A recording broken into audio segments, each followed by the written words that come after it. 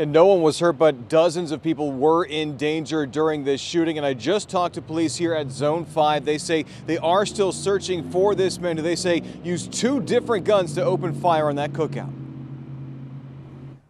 You can see a bullet hole in this window, another in a picture frame.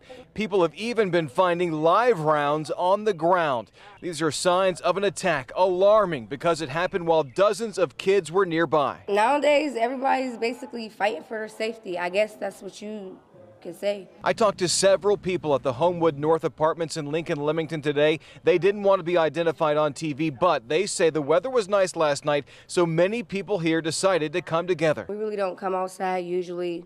So everybody brought their kids outside, cooking and everything. During that cookout, a man who police say was 28-year-old Terrell Lineberg drove up. A witness said he spoke a few words, then started shooting a handgun and a shotgun from the top of the hill down toward all the kids and adults below. Mothers raced frantically to get the children to safety. Most people couldn't find their kids.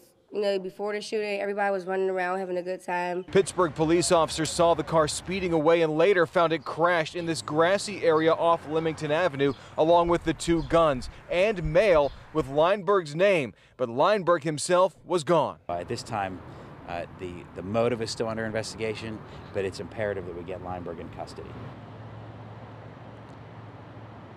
Pittsburgh police say that his last known address was in New Kensington, but he also has many ties to Pittsburgh and Homewood and Lincoln Lemington. So they're asking anyone with information about where Lineberg is right now to give police a call. Reporting live at Zone 5 Police Headquarters, Bob Hazen, Pittsburgh's Action News 4.